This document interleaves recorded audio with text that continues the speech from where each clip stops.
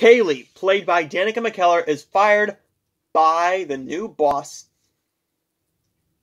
of of of her work where she writes articles of this like newspaper or website. One one of the two.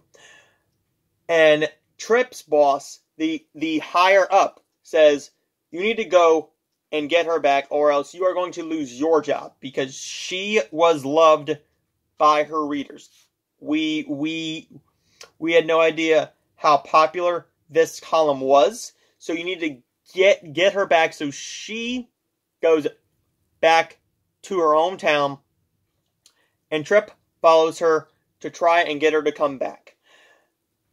This film is good. It's it's good. Danica McKellar kind of scared me this year because when a film just gets done, this film was shot. This film was shot pretty much a month ago or a little under a month ago. And, and that kind of scared me. Because this film was just shot. I was scared of choppy editing. I, I I was scared of rushing everything, and I was scared that they were not going to have enough time to create chemistry. I was wrong, and I know a lot of people.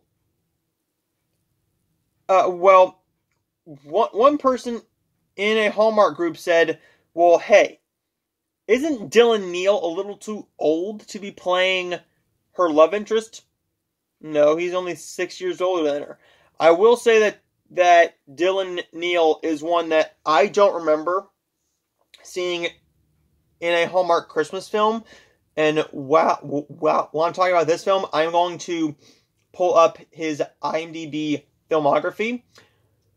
Christmas She Wrote has some good chemistry a couple very sweet moments, and you you you need to pay attention to to the stars uh, social medias because Danica McKellar put out a little behind the scenes footage, uh, and it is pretty much that her her character is very good at skating. That never comes back into play besides in one scene.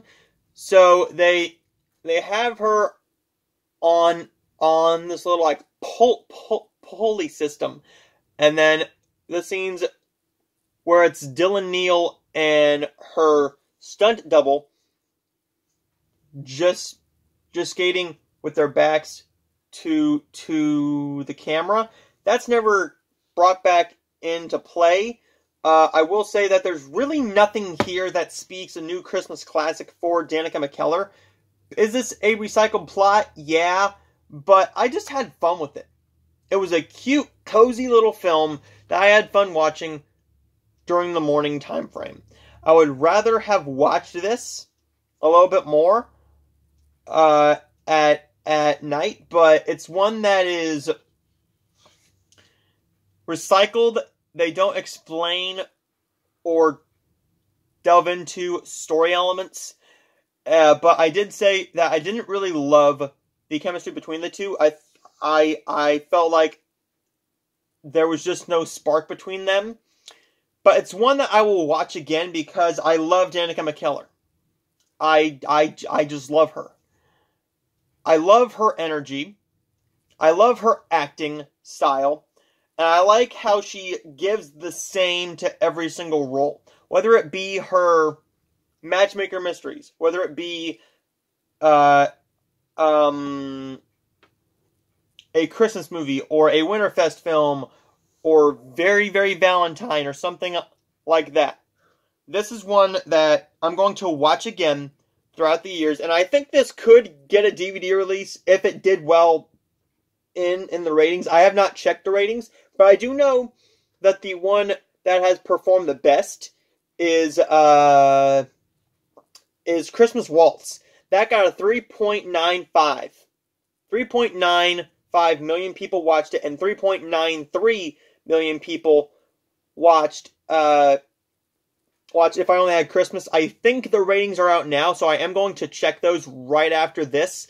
And I will be discussing which films will be getting, or I think will be getting DVD releases next year based on on on the ratings and the receptions of of of these films. This is a film that is charming, but there's just nothing that speaks a great Christmas Hallmark classic that I'm going to watch for years and years to come.